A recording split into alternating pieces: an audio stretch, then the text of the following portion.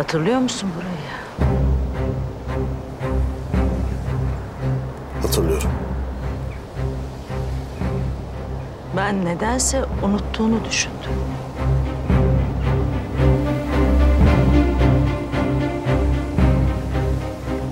On yedi yaşında geldim buraya.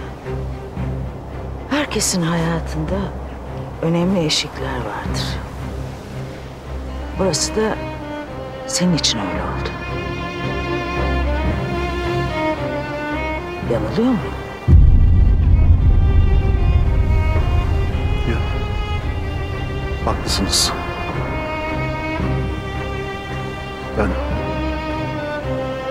küçük çorbacı dükkanınızdan para çalmıştım.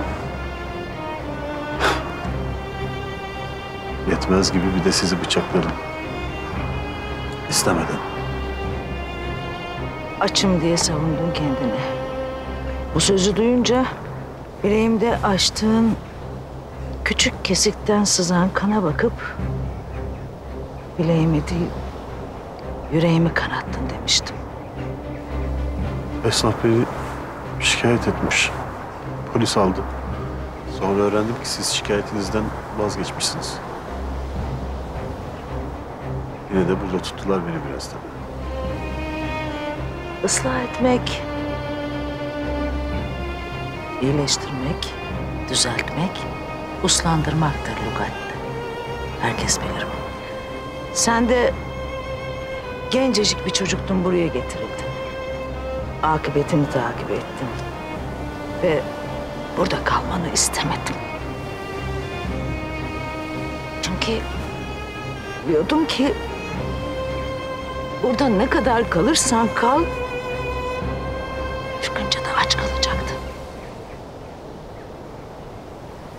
Ekmek değildi sadece. Tahsile ve çalışmaya açtın sen. Beni salıverdiklerinde...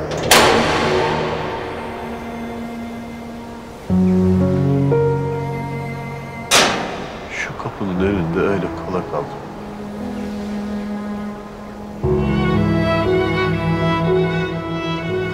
Nereye gideceğim, ne yapacağım? Hiçbir fikrim yoktu. Sonra siz çıka geldiniz. Bu bankta öylece oturuyordun. Korkuyordun. Sonra bileğimi gösterdin. Açtığın yarayı. Elinden tutmazsam o yara iyileşmeyecekti. Zaman da söylemiştiniz bunu. Sonra beni dükkana götürdünüz.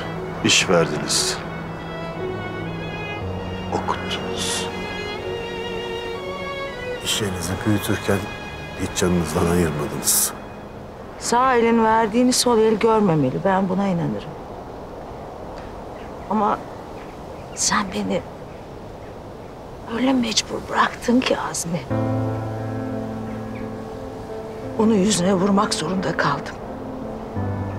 Ben neyi eksik yaptım Azmi? Sana yetmeyen neydi?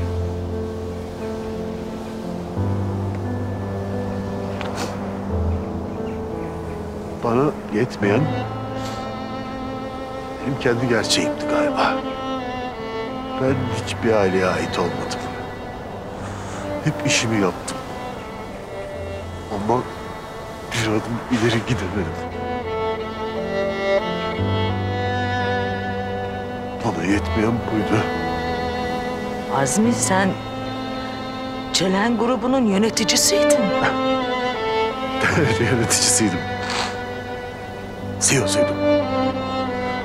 Ama boşluğumu doldurmadı. Bir aile kurmayı bile beceremedim gördünüz. Sizin ailenizin parçası da olamam. Zaten bunu hak etmedim. De Aile doldurmaya çalıştım işte o boşluğu.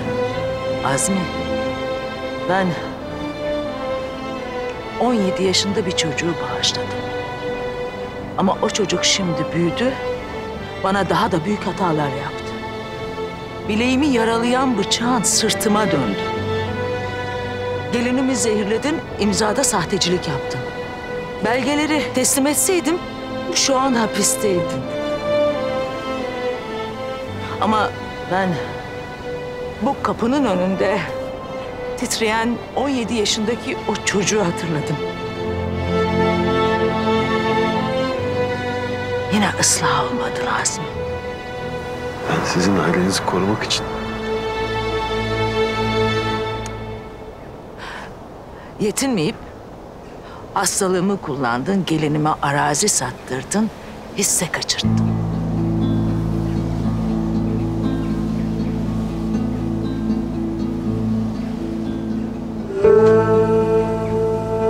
Otuz yıldır ben sizin yanınızdayım Feride Hanım.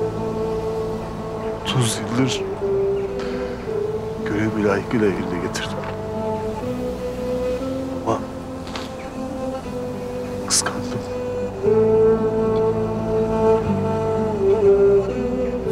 Zamanlarda içine düştüğüm buhran gaflete sürükledi beni. Belki bu yüzden hatalar yaptım. Tek istediğim fark edilmekti. Daha çok takdir edilmek. Nefsin gözünü kör ettiği için takdirini göremedin.